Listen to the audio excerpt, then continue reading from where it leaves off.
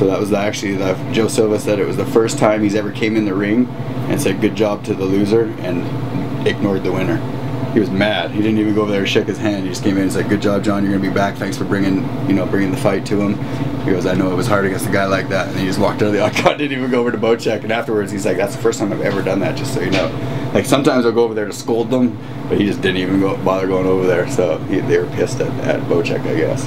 What were your thoughts with the fight? I know you had been upset, obviously, but you, you put on a good fight. And you Yeah. took the fight in two weeks' notice. two weeks notice had a lot of weight to drop made the weight you know so everything went really smooth there um, the fight went pretty good you know I, let him score a few too many takedowns in the first two rounds and, and that's what won him the first two I, I won the third round um, I was like close to you know getting that knockout punch you know I felt like he was backpedaling a lot and he was done basically and if I, there would have been one more round I think I would have you know finished him but what can you do? I gave up the first two rounds, and you know it was just because of wrestling. So What are your thoughts on that, man? It seems like wrestling's kind of taking over the sport these days.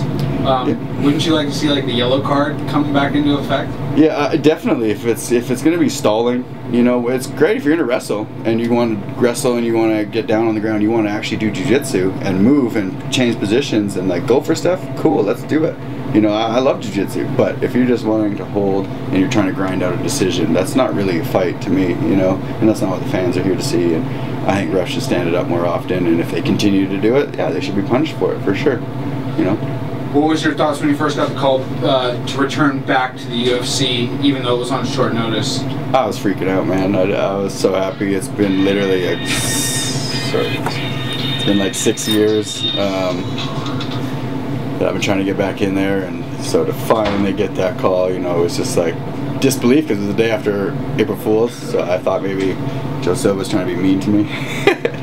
but uh, no, it was a dream come true, and uh, that- it could have been George St. Pierre, it could have been Anderson Silva, Fedor Emelianenko. I would have took the fight. No, no questions asked. So it really means that much to you to be fighting for the premier organization right now. Absolutely. You know, I mean, I've been fighting forever, and I always say this: I'm like the most famous, unfamous person. You know, because like I've been doing it forever. Hardcore people know who I am, but your average fan doesn't have a freaking clue Why is that?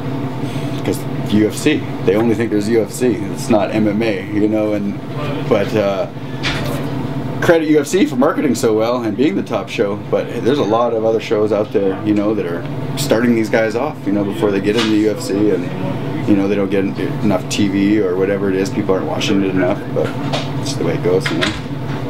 When you got the call uh, to return to fight Shane Roller uh, here in your hometown, Las Vegas, uh, what went through your head for that for that phone call, and how happy are you to be fighting here at home?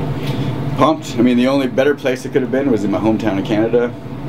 Why not my second hometown of Las Vegas? So perfect, you know, don't have to travel, don't have to deal with any of that stuff, make weight here in my own house, do all that stuff. So it makes it a lot easier, you know, mentally and physically.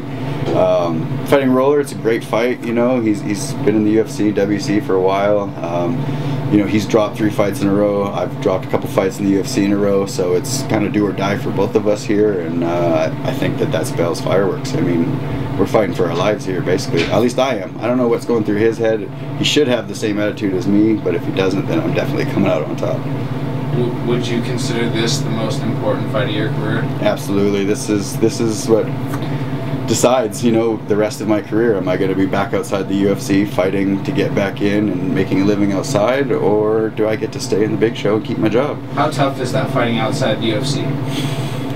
I've actually been blessed outside the UFC. I got to be honest. Um, I've main evented a lot of shows because of my experience, you know, and I've, I've got to travel a lot, so I got paid decent. So it's been good for me.